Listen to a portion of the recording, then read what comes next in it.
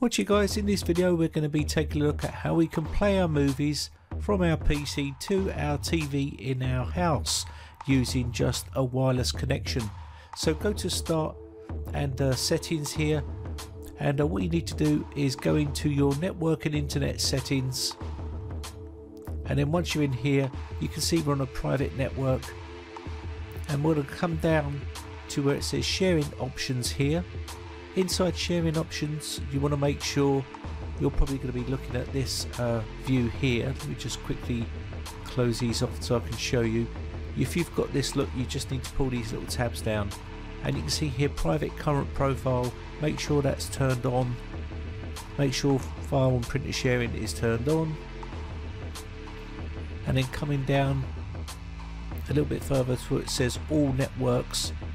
So these are important to have on okay now down here you want to make sure that it says file sharing connections 128-bit encryption and also turn off password protection sharing. Make sure that's on off okay? Otherwise this is not going to be possible. So you can see here use 128-bit uh, encryption. Choose your media streaming options. Click on this uh, option here and then turn on your media sharing. This will give you a view of what you've got turned on in your home at that one time. You can see here, you should see your TV, you've got TVs here and also other uh, devices in the home. Make sure you click allow all and you want to allow everything to run on your home network so you can share it, okay?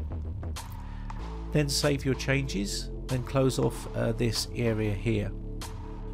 Now if you're looking to share your drive itself, right click on it and go to properties and then go into the properties pane here and look for the sharing tab. You can see it's all greyed out here and that's because it hasn't been set up. So what you want to do here is go to advanced sharing and share this folder and put the tick in there and you'll see the drive and that will be the drive letter for the drive that you're sharing now you can limit the number of users that will be sharing on there which is 20. Now if you want to change the permissions just hit the permissions tab here and you can see the group of usernames are everyone and if you want to add more in you can do. And you can also change the permissions for everyone which will be full control uh, change which allow them to change uh, folders and stuff like that in there and also read and write permissions. You can add in usernames inside here and search for those or you can click the advanced tab down below and click on find now and add people in that way. And that will be the people that you will allow him to share that uh, drive with okay now if you're looking just to share your movies folder say for instance what you want to do is right click on your movies folder and then go to give access to and then specific people. Click on this one here and then you'll see there's another box that opens up here.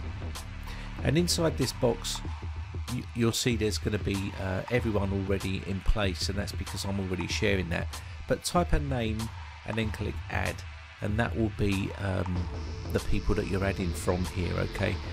And that's how you can add people in. You can give them read and write access here or just read access. You can see a list of people here. You can create a user if you wish as well and uh, that will give people access to that folder and that's how basically you can restrict other people. Now read access is fine, it's on your home network this is so only people on your home network will be able to read those files and that's all you want them to do and then once you do that you can hit the share button and uh, that will then share that content. So let me just take you over to the TV now and I'll show you how to set it up on your TV. So inside your TV settings you need to navigate to your settings, quick setup or something like that and go to your network settings. You can see wireless here. Now you can do this through Ethernet if you wish but you need to put in your Ethernet cable or set up your wireless uh, connection which is put in your Wi-Fi connection.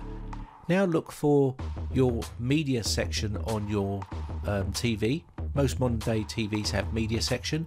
Go into there and you should now see your computer that comes up. Click on this and now you want to navigate to the videos section because obviously we're looking for movies and now we want to look for folders because that's how you want to look for it and now you should see the folders that you're sharing movies and TV shows so click on movies and now you'll get all your movies how you've uh, listed them out. I've listed them all out as in action, adventure, animation, comedy, and so on.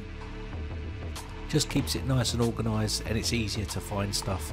And that's pretty much it. So if you've got your little archive set up somewhere of family photos, movies, or maybe some films or TV shows that you want to share on your home network, then this is how you can do it. No fancy equipment, you just have to leave your PC on. That's the only drawback. You will need to leave your PC on. But that's easily solved. You can get yourself a NAS drive or maybe some sort of a small little mini form factor PC uh, which you can leave on all the time uh, with a, a, drive in there or something like that, an external drive, and you can share it that way. It's pretty straightforward and easy to do. Great way of sharing all your media. Now I've tried this on four different types of TVs and it works well. Hisense, Samsung, uh, Sony, and uh, Panasonic. It works on all of those TVs. So it should be working for your TV if it has a media section or media server. They're called different things, but just have a good look around in there and it should work just fine. Anyway, I hope this one helps you out. Someone requested it, I can't remember who, but thanks again for watching. My name is Brian from briteccomputers.co.uk. Bye for now. Now, if you haven't subscribed yet, hit the big red subscribe button on my YouTube channel and hit the bell notification button next to that to be notified when we upload new videos. Thank you.